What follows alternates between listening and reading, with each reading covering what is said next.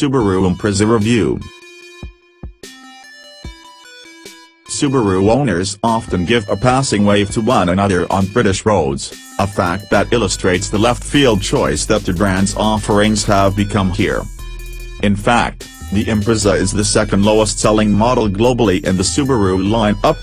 Yet, despite meager sales, the manufacturer says the Impreza is its best-known model, thanks to its illustrious World Rally Championship history, and has deemed it worthy of a fifth-generation makeover. The new Impreza is bigger than the previous model and gets an updated interior.